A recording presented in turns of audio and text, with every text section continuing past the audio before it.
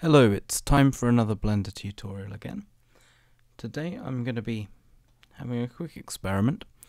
I didn't try this technique out before I did it uh, before before now, so um, sorry if um, things are not as good as they could maybe be.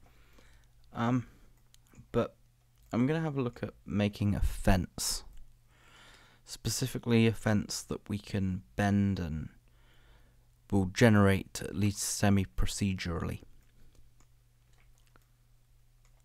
Okay, so what we want to do is we want to make a base mesh for the model.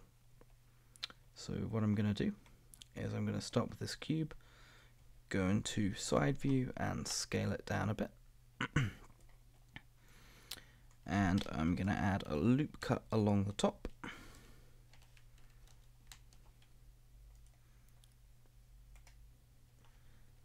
and a loop cut on the side. Okay, that's good. So I'm going to take the middle four faces along the top and along the bottom and I'm going to extrude those and then I'm going to scale them in on everything but the Z axis and then I'm going to go and select the top ones and go W. No, I'm not. I'm going to go space. And I'm just going to search up to sphere. Now that's not working quite properly because I have the middle vert selected.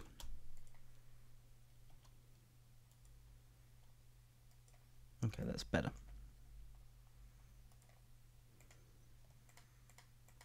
I'm going to do the same for the bottom.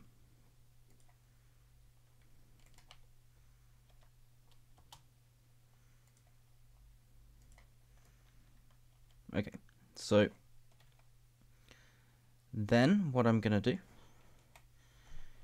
is I'm going to take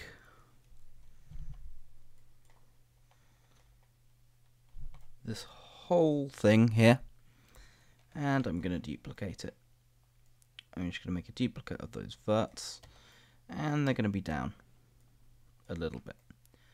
Now I'm not going to focus on the accuracy of this right now. This is just going to be the basic edge flow and how it's working.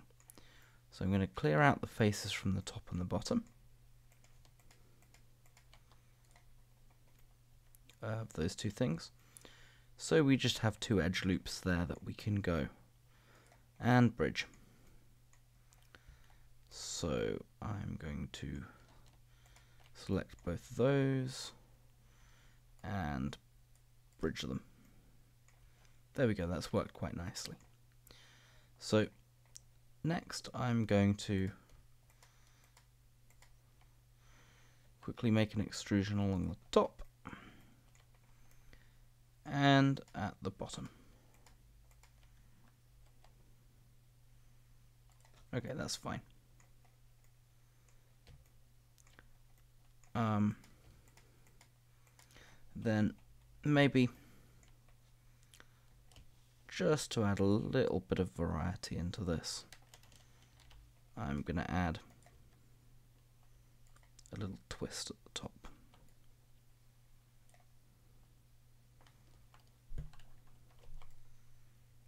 By adding some ring cuts, ticking on proportional editing, and rotating it on the x-axis.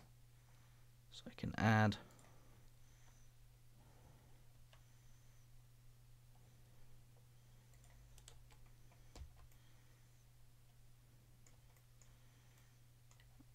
just a little bit of variety.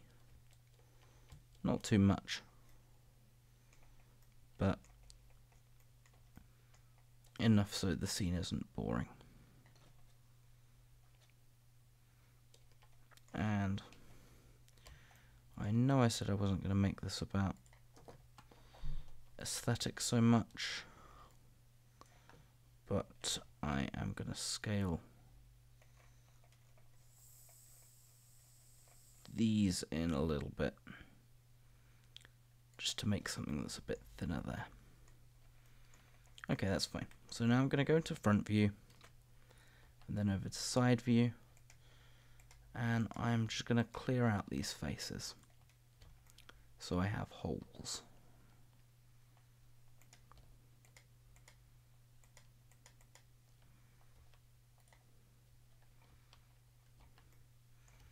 Okay, that's good. Um, maybe take these and bring them in a little bit and do the same on the other side.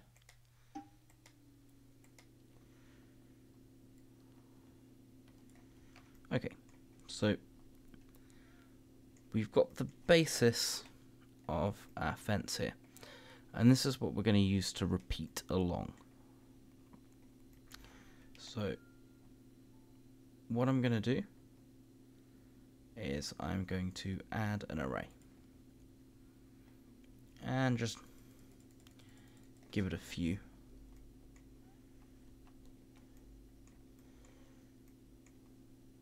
iterations.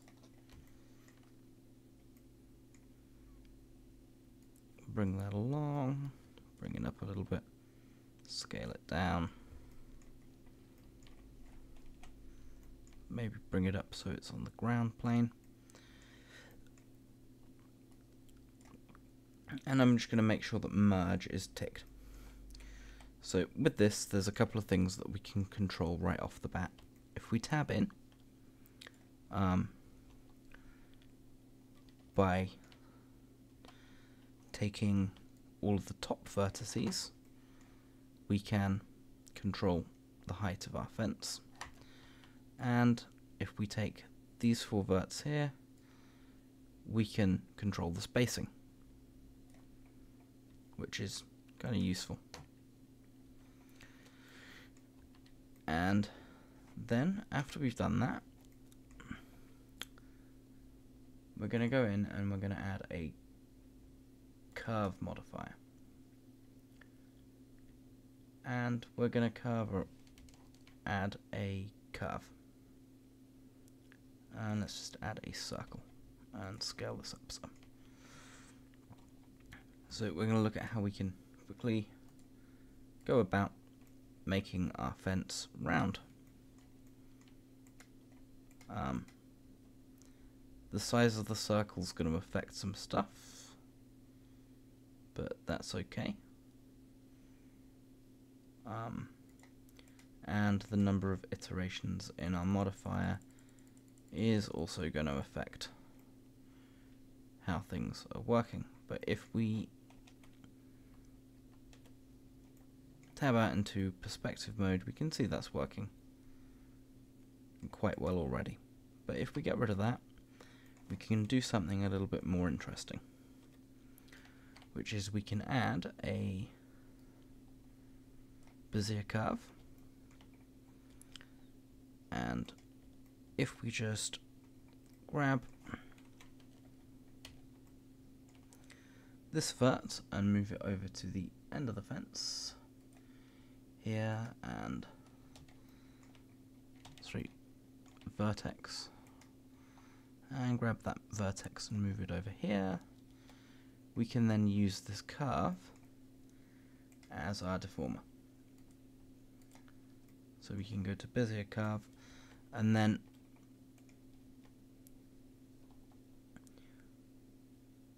there are some things we can move around and if you do it this way you can get a really really good precise shape to the way the fence goes and if you wanted to extrude it out some and just really tweak those until you have the shape that you want. Um,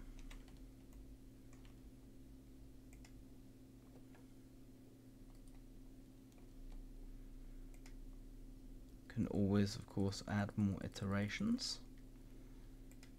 And if we tab in, we can of course smooth out these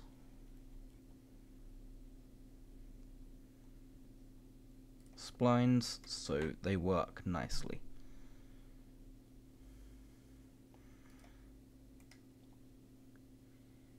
And if you're careful in the tweaking, which you always should be, you can build up very quickly quite a nice fence shape that will be in exactly the um, dimensions that you require. And of course, because this is kind of halfway to rigged, almost, I wouldn't call it a rig per se, but it has some of the features. If you want to go ahead and make the fence shorter, you can. Or if you want to add some loop cuts into here, wait.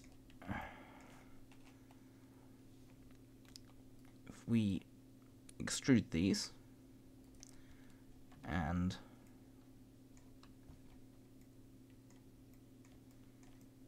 no that didn't work so well um, if we extrude those and that's why. Disable. If we disable proportional editing and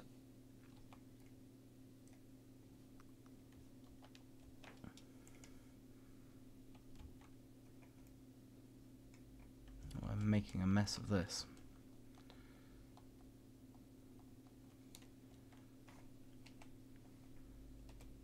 Okay, do it properly this time.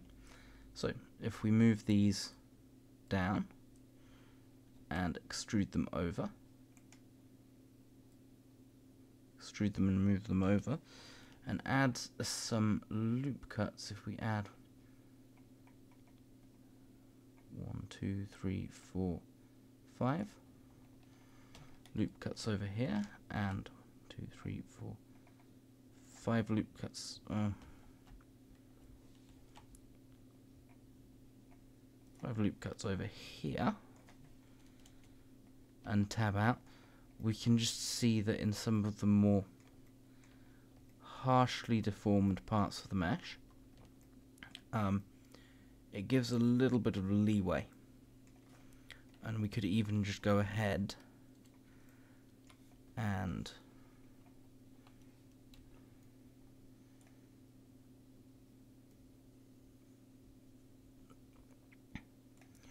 move these right in to the edge of where our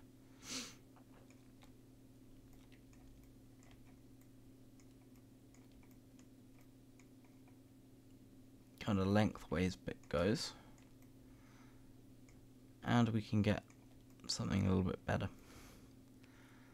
Um, I'm not quite sure I like how that decal at the top is deforming bit ugly for my liking. But if we, for argument's sake, just set the smooth, go into perspective, take over to cycles, and just give it really quick render, we can see that we have a normals problem that does need sorting out.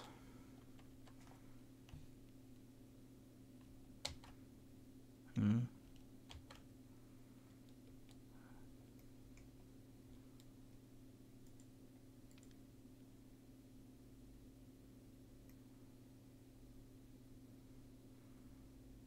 And probably those verts need to be merged up. Um, even once this is done, we could add subdivision surface over the top. And the subsurf would stay all,